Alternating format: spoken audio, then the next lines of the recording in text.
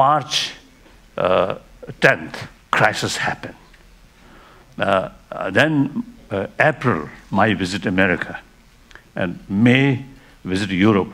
Wherever I go, some demonstrations from Chinese student. And initially, few hundred. then gradually, less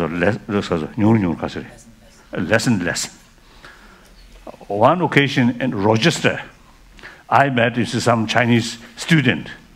I actually I want to to meet them. And I think six or seven you see, finally arrange a meeting. A lot of anger. Fortunately, between us is one big table. Otherwise, they miss uh, what's it do, do that. really. it's too much emotion? So, so they wouldn't listen my explanation.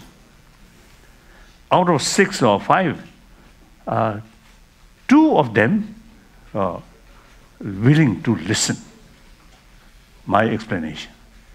But the remaining, no. Just showing their irritation and anger like that.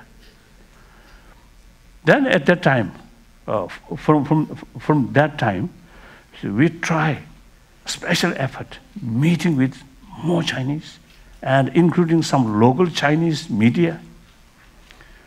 Then eventually, that kind of sort of uh, angry face then reduce. Nowadays, sometimes you see, before my, my sort of visit, some circulation, demonstration will come. But actually, uh, nothing happened. so it seems officials want to more demonstration, but individual now do not want to come to demonstrate. That's correct. Because they are allowed to Gaza. Ah. Netherlands. oh, Oh, one in northern, uh, in Netherlands, it happened. One Kasa. University of Northern Iowa. Uh, Iowa, uh, there, uh, I cannot pronounce that uh, properly. that state I never been, just the first time, so I cannot pronounce properly. there also, you see, uh, before my reaching, some circulation, some through internet or something, there uh, some demonstration will take place. The, the actual day, nothing happened. So these are some sign, better understanding. But meantime, there I met some Chinese student. Uh, some are still a little bit kasurda, uh, a little bit, I would say, cautious, too much cautious, that kind of thing. And even if you refuse take picture because they are fear. Like that. So, yes, finished now. Oh, oh, so, so, so, so, so you see, questions. They, we ask Tibetans wherever they sort of live, and where more Chinese students also there, please set up some kind of friendship group and make familiar each other. Uh, then, you see, the, these sort of also the negative feeling due to misunderstanding will not take place. So I'm very happy here, some Tibetan student and Han people sort of, I'm Han sort of student together. I'm very happy. Yes.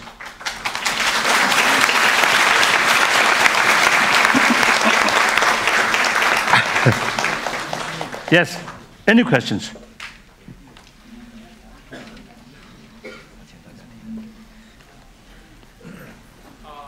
Thank you. Uh, thank you, the Dalai Lama. I have a question for you. First, uh, I had heard recently you point out your uh, maxim, uh, which is the socialist. My question is, uh, what will do to reach the idea of the socialism in the inside of the Tibet? Thank you. Uh, I think firstly, genuine socialism must develop within mainland China.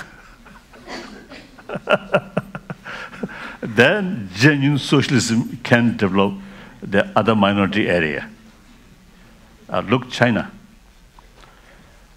Uh, although uh, I always see, uh, sort of say, disc, uh, notice four eras: Chairman Mao's era, Deng Xiaoping era, Jiang Zemin era, uh, Hu Jintao era.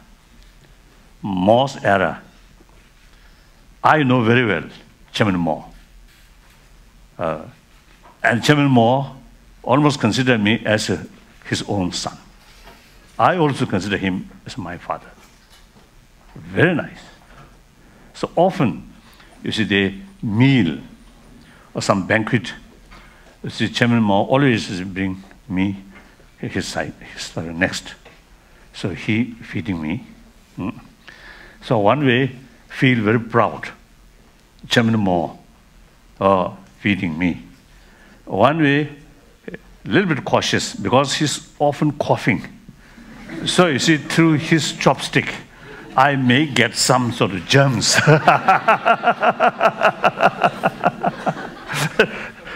so in any way, uh, I feel at that time, I think the concept of uh, final sort of target, that also worldwide, then through secretary,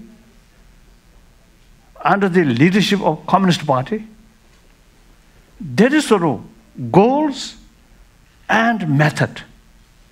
And all the party member at that time, full of enthusiasm. I noticed uh, I spent about five months in Peking, five or six months. Then remaining few months, I toured many provinces. So I really admire these Communist Party members, leaders, and those sort of party members. Really dedicated. No concern about money. No concern about their personal sort of, or say, life.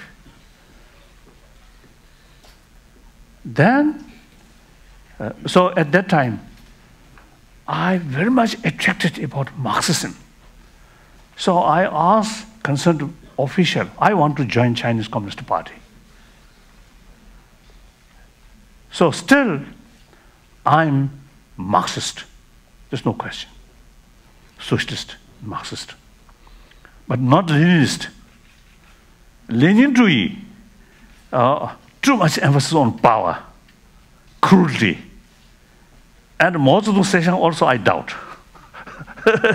In early period, yes, Mao Zedong thinking, wonderful, really leader, what was that? Genuine leader of revolutionary, wonderful. But then around 1956, 57, I think power ruined him. That's very clear.